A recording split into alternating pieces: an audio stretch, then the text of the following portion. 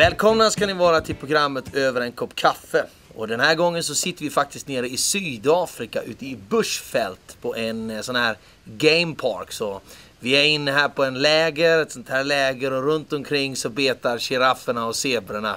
Vi är mitt uppe i våran Science and Wonders Festival i Pretoria. Så att jag sitter här tillsammans med en av mina bästa vänner, Walter Zuniga Mendoza. Välkommen Walter! Tack så mycket. Tack. Och eh, Walter har jobbat med mig i många år redan och jag tänkte vi ska börja ta reda på vad Walter har för bakgrund. Eh, både kort om var han kommer ifrån och hur han blev frälst. Varsågod Walter. Ja, du vet Johannes, som jag berättat för dig så jag kommer från ändå en väldigt enkla förhållande. Växte upp i El Salvador, eh, San Salvador, flyttade till Sverige när jag var 11 år och växte upp för det mesta i eh, förorten i Sverige. Ganska mycket, ja ganska likt många andra invandrare, man började hålla på med lite kriminalitet och bara för, bara för det blev ändå ens vad ska jag säga, kompisumgänge, familjen där som man kunde koppla med. Och, Du kom hit därför att det var inbördeskrig i El Exakt, Salvador, eller exakt. hur? Det hade- Så det var du och mamma och syrran som flydde? precis. Ja. Och, och jag vet att, eh, att du var ute och snurrade i allt möjligt då som tonåring. Mm. Men mamma var tillbaks hem till El Salvador och, och blev frälst har du berättat för mig. Precis, när, hon var, när, jag var, när jag var 15-16 år, Mm. då åkte hon till Sverige, till El Salvador och eh, fick möta Gud. Mm. Eh, blev eh, totalt förvandlad av Jesus. Och det var en av mina värsta år. Ja. Så när hon kom tillbaka började hon vittna jättemycket till mig. Det var jobbigt för dig då? Det var jättejobbigt, du, Du hade inte haft dig. den typen av mamma tidigare och plötsligt så... Nej, plötsligt så ändras ju alltihopa. Ja. Och sen så blev du frälst vet jag, vi får ta storyn kort. Du gjorde Visst. en våldsam upplevelse med Gud. Mm. Jag vet att du såg Jesus den där natten. Och, Precis. och du döptes blev- dagen där, där, där, därpå i vatten va? ja, ja, så var det. Ber, berätta, säg, säg någonting Ja, kort. då. alltså du vet jag, var, jag har varit ute med mina kompisar, druckit och festat. Gick, på, gick på in på krogen och jag var ju 17 år då så de eh, på något sätt de kom på det och slängde de ut mig och så gick jag hela vägen hem. När jag väl kom hem så kom mamma in i rummet. Och eh, rör som hon var, tårarna rann, satte sig bredvid mig, la sin hand och bad, bad i tungor och det var, det var olika, olika känslor inombords. Men samtidigt så fanns det något som, som drog mig. Att, Kom igen, det är klart du ska be, klart du ska tala med den Gud som hon hade. Så jag gjorde det den natten. Gick ner på mina knä och sa Gud om du finns, förlåt mig för alla dumheter jag har gjort. Så när du hade blivit frälst Walter, så vet jag att du hade en god vän som hjälpte dig, Per Gisselsson, som också jobbar i SOS, som Ja. är field director för vår Sydostasien-bas. Mm. Eh, och sen kom vi i kontakt med varandra. Jag kom till Gävle och hade ungdomsfestivaler och ungdomskampanjer. Och vi, vi blev ju förälskade i varandra. Och, Ja. och, och sen vet jag att jag bjöd dig ner till Märsta. Mm. Där du jobbade som våran eh, ja, gatuevangelist. Den Mm. som ledde outreachen på bibelskolan de första ett och ett halvt åren. Ja. Sen tog jag med dig ner till eh, södra Bulgarien. Mm. Till eh, turkarna. Mm. Eh, där vi hade haft en väldig framgång. Vi hade döpt 5900 turkar på ett och ett halvt år som hade kommit till tro. Det var apostlagärningarna, Jesus i köket och änglauppenbarelser och helanden. Och, Ja. och där eh, hände någonting då i ditt liv. Ja. Eh, jag vet att vi åkte med bilen ut för att besöka en folkgrupp. Mm. Kan inte du berätta kort om vad det var vi fick vara med om? Walter? Wow, Johannes, Johannes, du tar mig tillbaka i en av hjärtegrejerna i mitt liv alltså.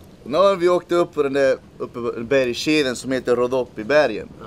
Och det fanns ett folkgrupp som var ju totalt onådd. Ja. Det är ju muslimer och slaver, kallas är det de pomacker. heter? På, macker. På mackorna. Och eh, när vi satt på den där, jag kommer ihåg när vi satt på den där puben uppe Ja. där. I Serenica. I Särnitsa ja. ja. Fullt med rök, Ja. folk satt och drack runt omkring. och vi knäppte ihop våra händer. Ja. Och så, ska, så bad vi och undrade, heligande vad vill du att vi ska göra? Ja. Och så kände vi, både du och jag, att vi måste göra någonting. Och Vi då- hade ju faktiskt inte en aning om eh, eh, att det fanns en stor, så stor folkgrupp mitt Nej. i Europa. Eh, 400 000 människor. Det var där det inte fanns någon existerande församling. Exakt. Men de bor i Grekland, Turkiet och Bulgarien. Mm, mm. I de här bergen som Ja, du talar om. ja. Rhodope bergen. Mm. Så det var ju en, en riktig chock för oss att bara upptäcka att det Ja, fanns en stor folkgrupp, slavisk, muslimsk folkgrupp som inte hade någon församling. Exakt. Och vi knäppte våra händer och bad där. Sen var vi inne i moskén och bad också, kommer du Ja, ihåg ja, det? ja, ja, ja. Där gick vi in och bad till Jesus Kristus. Mm. om att vi skulle få en öppning till det här folket. Sen frågade jag dig två frågor. ja, viktiga frågor. Ja, jag frågade dig, är du rädd Walter? Nej, men- sa du. Ber du mycket Walter? Ja, sa du. Vill du åka hit och plantera en församling bland några folk? Och då sa du ja. Och du och din fru och ni hade en son då Moses flyttade dit i januari 05. Mm. Och nu har ni bott där i tre år och nio månader. Ja, stämmer. Det är länge redan. Ja, det är tid. Och ni har fått två pojkar till när ni har bott där nere. Ja, Moses, Milo och Leon. Ja. Berätta, hur har det varit att vara missionär nere på Balkan? Oh, oj. Det har varit helt underbart. Du vet att få bo i ett område där du vet att du ska starta en församling. Ja. Under och tecken, så lätt. Människor blir frälsta. Ni började från scratch. Det var från scratch. Du vet, vi samarbetade inte med någon församling så, utan vi, vi gick Det var apostlagärningar. rakt in i, en, eh, i ett outnått område. Och eh, vi började med att besöka folk, bygga upp husförsamlingar. Och Folk var så hungriga. Allt var så nytt. Man läste bibel, du vet, och bad för en sjuk där. Och Det är helt ljuvligt Johannes. Hur många har ni bett med till frälsning under den här tiden? Oj! Alltså till frälsning och person, om man- om man bet, vi räknar upp till en, eh, mellan 750 800 alltså, Ja. som har bett en frälsningsbön. Ja, på, på de här tre, Ja. tre åren och nio månaderna. Ja, ja. Och sen har I vi... ett onått folk va? Ja, visst. Ja, det är fantastiskt. Ja. Och sen vet jag att ni är snabba, ni leder dem till andens dop gärna samma dag. Ja. Ni kastar ut mycket onda andar, folk blir helade. Ja. Det är verkligen apostlagärningarna. Och så de här husförsamlingarna då. Mm, mm. Hur många har du i ditt team där nere idag Walter? Just nu så är teamet är egentligen ganska stort. Alltså det är ju just nu några i Sverige som är på väg tillbaka. Men totalt som stort team är vi en, runt 20, 20 stycken. Men på plats just nu så är vi 11, 11-12 stycken tror jag. Mm. Ja, det fungerar ju så att man är ute sex månader till ett år, sen kommer man hem och jobbar lite grann ja. och åker ut igen när man har samlat ihop pengar. Precis. Walter, någonting som jag skulle vilja fråga dig om vad det gäller det här. Det eh, hur är det att leva med en hel familj med liksom barn på missionsfältet? Det är många i Sverige som tror att det är omöjligt. Hur- Berätta, hur är det? Nej, du vet. Vi tycker så här helt enkelt. Det, det här måste vara det enklaste sättet att leva och fostra sina barn. Ja. Vi tycker verkligen det. Jag och min fru vi har haft, vi har haft det verkligen. Vi har haft teamet, alltså det är ju våra närmaste vänner då. Ja. Det, det blir ju så, man bor ju som en familj. Och eh, barnen har funnits där, jag har funnits med mina barn och de får del av det. Och vi har jättekul. Det är kanske till och med enklare Ja, ja, jag- jag- jag säger det. barnen Ja. och leva familj Ja, i det. stor familj. Ja, ja, men det, det tycker jag absolut. Ja. Det är mycket enklare. Skulle vilja fråga dig Walter. Eh, på Balkan här nere nu, jag vet att ni har några år kvar säkert. Mm. Det är mer jobb ni vill göra. Mm. Jag vet att ni har fått upp en ganska stark församling Precis. i staden Vellingrad. Ja. Det är pomacker, zigenare och turkar som har blivit frälsta. Ja. Men eh, eh, ni har också igång med en dotterförsamlingsplantering ja, i en annan stad som heter Smålingen.